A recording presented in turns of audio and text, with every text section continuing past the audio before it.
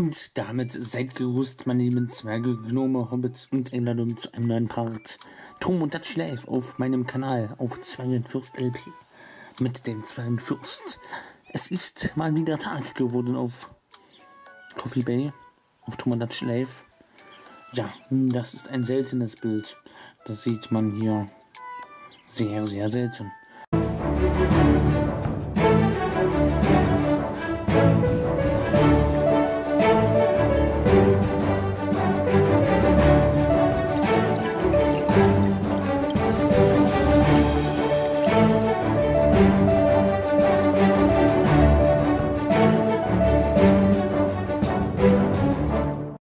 Tatsächlich nehme ich das jetzt hier am Tage auf. Passiert auch sehr, sehr selten. Ja. Ist doch mal was wert. Können wir auch mal die Sachen versuchen, die wir hier am Abend nicht zu sehen bekommen. Aber erstmal holen wir das Mi auf die Insel und lassen es in das Mi-Apartment einziehen. Das heutige Mi ist nämlich Ihr glaubt echt nicht, wie viel bei so einer Aufnahme vorher falsch laufen kann. Meine Fresse. Ich bin gerade ein bisschen. Versteht ihr, was ich meine? Fresh Torge. Willkommen in unserem Insel-Apartment-Haus. Alter, ist Ihr könnt es euch nicht vorstellen, was ich erzähle es auch vielleicht nicht so dolle. Das war jetzt hier der Chaos. Naja, auf geht's. Fresh-Torge ist jetzt neu auf unserer Insel. Betreten wir mal das Apartment und schauen mal, wie es so geht.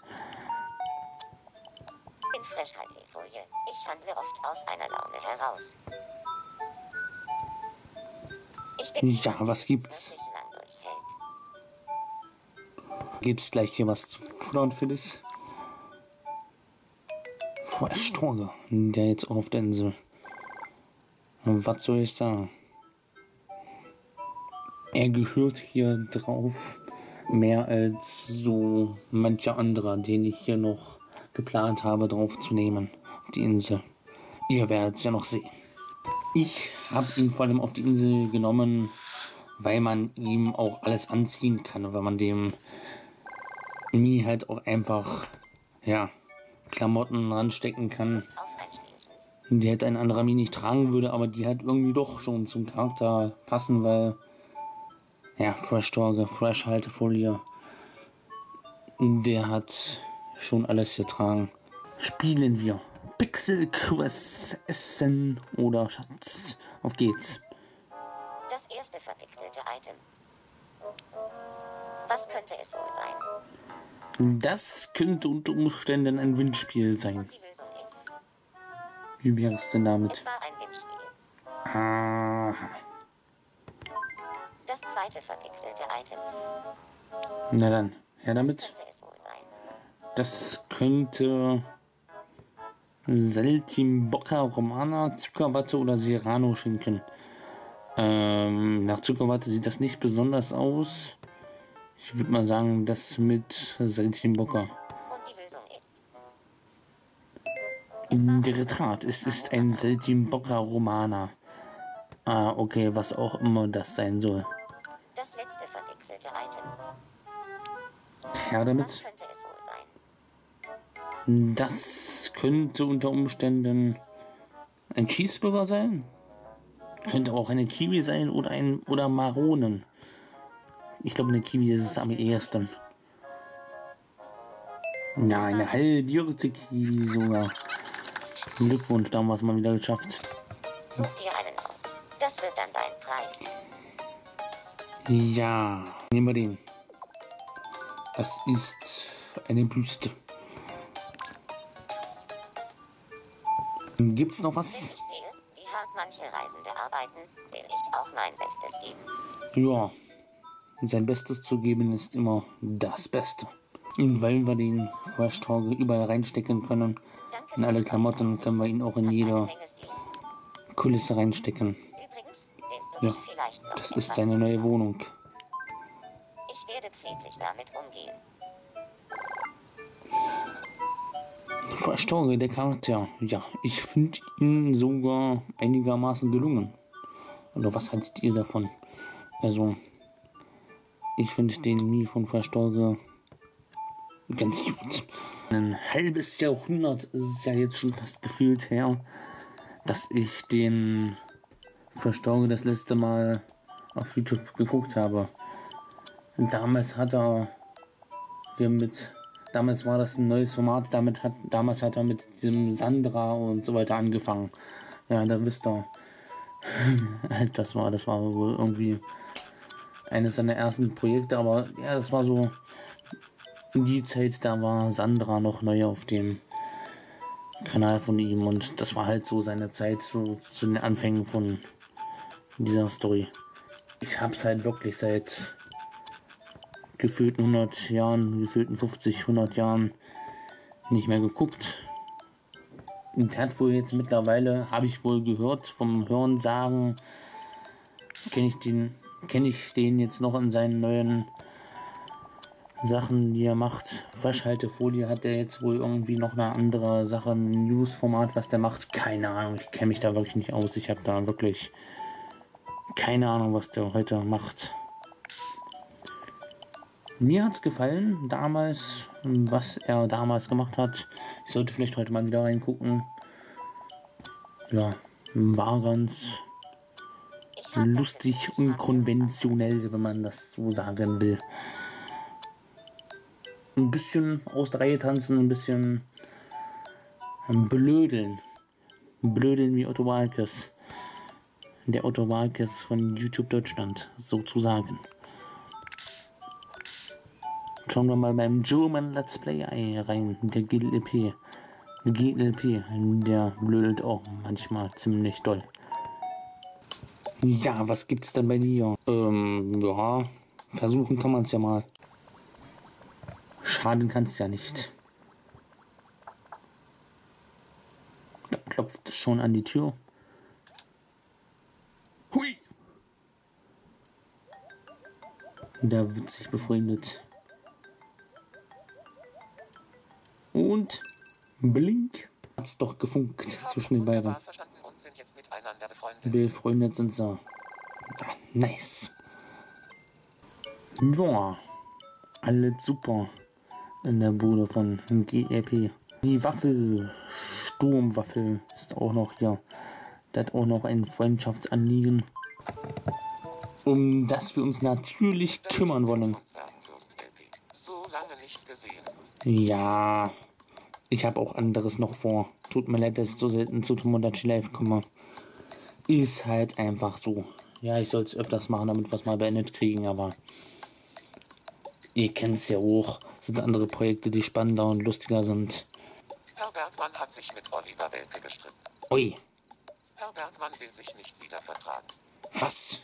Ich dachte, Oliver Welke will sich nicht vertragen. Also, dass Herr Bergmann sich nicht vertragen will. Ja, komm, das ist gelogen, das halte ich für gelogen. Lügner.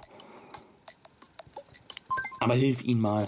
Du hast doch so ein, unter Umständen vielleicht ein paar Kontakte zu dem lieben Herr Bergmann, der übrigens noch im Weihnachtsmann-Kostüm ist. Na, können Sie sich vertragen? Sieht so aus. Smurf kriegt's hin. Nein! Smurf kriegt's nicht hin. Ah, Mann. Das sehe ich ja ungern. Mann, Mist. Ach Mensch, Smurf. Hast es nicht hingekriegt. Warst du kein guter Stre Streitstüller. Ist wieder eine Freundschaft zerbrochen hier auf Coffee Bay. Mr. President, Barack Obama, der ist auch noch hier. Ähm, zu dem gucken wir später vorbei. Nintendo, den haben wir lange nicht mehr versorgt. Der hat auch ein kleines Problemchen. Was ist denn bei dem schief? Mal, wie ich Böhmermann imitiere. Ah, Böhmermann wirst du imitieren. Schieß los. Sag doof, Feige. und verklemmt. Ist, sage ich nicht. Nee, das sage ich wirklich nicht. Das war wirklich sehr ähnlich. Da hast du was zitiert. genau. Ein sehr schönes Gedicht, wie ich finde. Und rollte durchs Zimmer der Nintendo. Ja, den habe ich auch lange nicht mehr gesehen. Ja, was soll's. Da sind wir auf der täglichen Insel. Alles noch am Tage. Naja, 17 Uhr ist noch Tag. Da wird es noch nicht dunkel. Fachgeschäft für Einrichtungsgegenstände. Das Möbelhaus. Wir starten wieder hinein und schauen uns ein bisschen um, um ob schauen uns ein bisschen um, ob es ein bisschen was zu kaufen gibt. Eine Blumenwiese und eine Holzhütte. Die Blumenwiese, da weiß doch, wem ich das geben kann. Ist gekauft.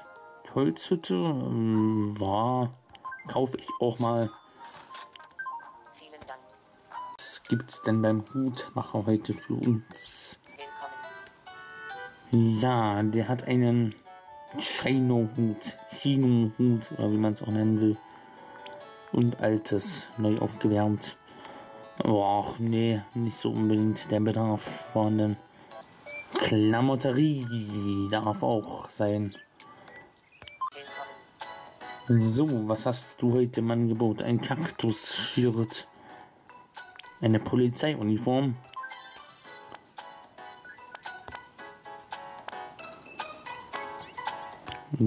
Gekauft.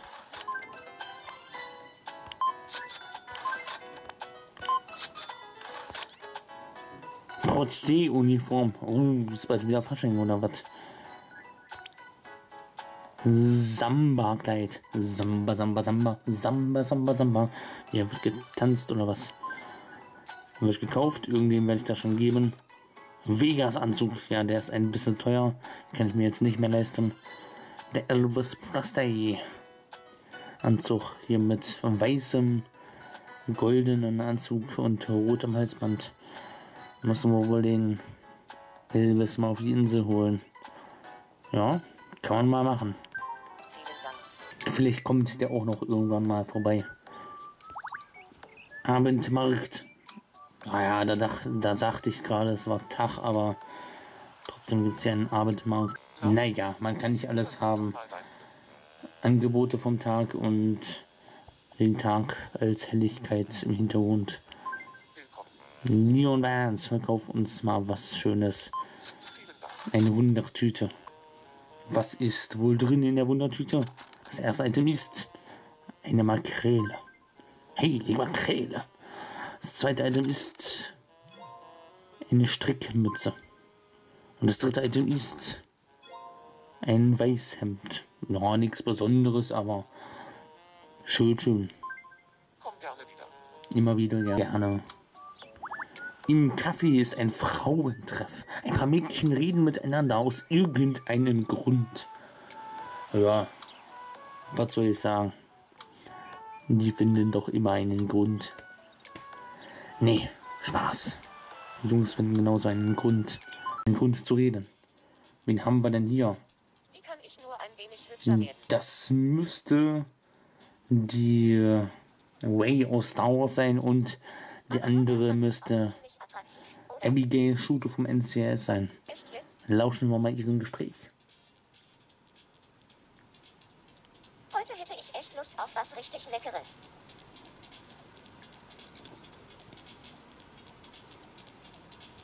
Okay, Ich habe neulich so ein echt lautes Lachen aus dem Apartment von Direktor Shepard gehört. Oh, ich glaube, das habe ich auch gehört. aha, ist klar. Na denn, ist ja alles supi. Die Nachrichten schauen wir uns nochmal an.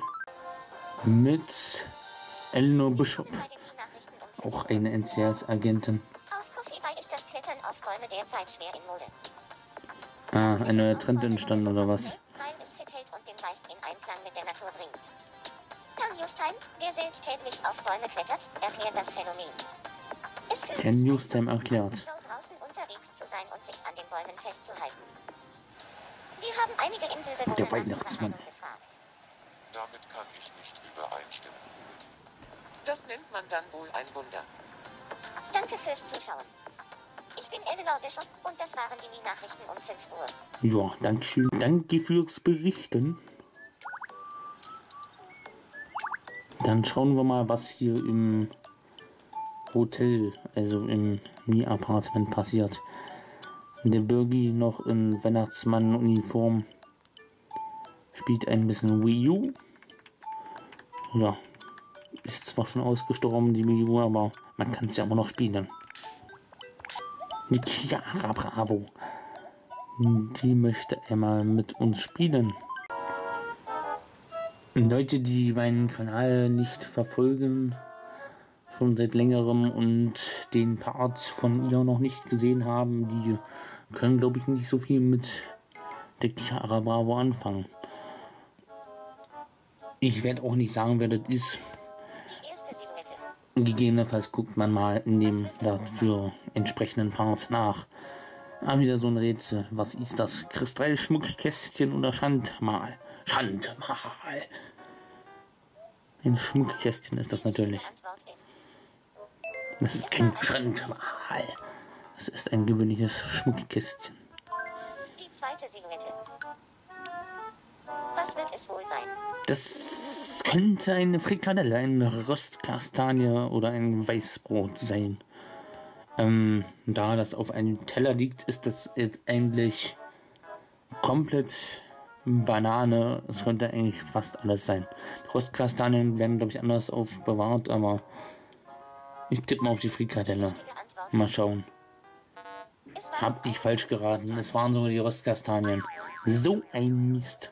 Chiara verloren. Tja. Überall blüht und grünt es. Komm, lass uns etwas an die frische Luft. an die frische Luft. Das ist grundsätzlich ein guter Vorsatz. Das sollte man mal machen. Ich frage mich, wie es da drüben so aussieht. Wo drüben? Hinter den Wänden? Wo du gerade hinstarrst oder was? Der Drachenbursche. Der hat ein Anliegen. Der möchte sich mit jemandem befreunden. Na, dann wollen wir dem mal nicht im Wege stehen und wollen ihm mal helfen bei seinem Unterfangen. Ich habe gehört, dass LP Markus mit mir befreundet sein will. Halte ich jetzt an sich nicht für so unwahrscheinlich. Der Drachenbursche mit Let's Play Markus befreundet. Kann man machen. Da ist er, der Markus. Und da kommt ja der Drabu. Ich glaube, das wird eine gute Freundschaft. Kann man mal anbieten. Da wird bestimmt was Tolles draus. Na, nice. Wir haben uns wunderbar verstanden und sind jetzt miteinander befreundet. Das lob ich mir doch sehr. Bitte sehr, ein kleines Dankeschön. Ein kleines Dankeschön. Ach, ist doch nicht nötig. Ein Ventilator, ja, okay, der ist wirklich nötig. Den bräuchten wir demnächst wahrscheinlich öfters. Wo die heißen Sommertage bald wieder beginnen, da ist es bestimmt nicht falsch, einen Ventilator zu besitzen. Schauen wir nochmal bei unserem heutigen Stargast, bei unserem heutigen Neuankömmling hier, bei unserem neuen Mi hier vorbei. Dem geht's nicht so gut, der hat gerade Schluck auf. Dann erschrecken wir ihn mal. Ja, so sieht das aus. Ja, wie läuft's? Alles super, alles gut in der Hut. Kriegst noch was zu trinken, einen leckeren Cappuccino. Ja, das schmeckt doch. Das tut gut. Und gleich ein neuer Level. Da kannst du gleich was singen lernen. Das ist doch ultimativ. Na dann. Da hoffe ich, du lebst dich immer ein und findest dich mit den anderen Mies zurück. Mit den anderen Mies zurecht auf dieser Insel. Na dann. Lassen wir den Fresh Talker mal alleine hier sich mit Freunden auch befreunden, mit Leuten von der Insel. Und gehe mal zurück auf den Inselbildschirm. Ja, dann würde ich mal sagen, beende ich diesen Part an dieser Stelle. Däumchen nach oben, sollte es euch gefallen haben. Lasst ein Abo da, wenn ihr neu seid. Der Herr Newstime, der chillt dort oben auf dem Turm. Ja, man sieht sich, sage ich immer wieder und sage, habt noch einen angenehmen fürstlichen Tag, gehabt euch wohl und haut darin. Ciao, ciao. Bis dann.